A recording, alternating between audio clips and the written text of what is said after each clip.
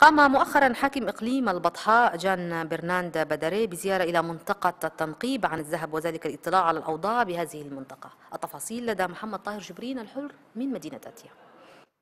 منذ أن تبين وجود المعدن النفيس ببعض مناطق إقليم البطحة في بداية العام المنصرم اتخذت الحكومة تدابير لتأمين الموقع ومنع التنقيب العشوائي عن الذهب بيد أن التنقيب ما زال يمارس من قبل مجموعات وأفراد مواطنين وأجانب وقد تسببت الحفريات بأضرار بيئية بالغة إضافة إلى الانفلاتات الأمنية العديدة والمتمثلة في ظاهرة قطع الطرق. أمر دفع بالسلطات العليا إلى إرسال مجموعة من قوات الجيش الوطني لتأمين الموقع في انتظار إرسال شركات مقاولة للتنقيب. حاكم إقليم البطح جان برنار باداري جاء إلى الموقع للتعرف على الوضع وتشجيع أفراد تلك القوى. وانتهز الحاكم الفرصة ليعلن أسباب منع التنقيب العشوائي حيث أنه يتسبب في تدمير البيئة وهدر تلك الثروات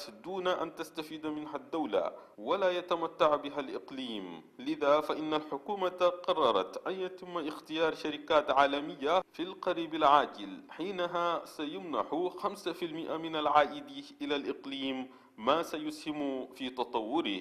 الجنرال آدم تيغا حامد منسق العمليات. طلب من المواطنين ضرورة تفهم القرار الحكومي بمنع التنقيب واحترامه.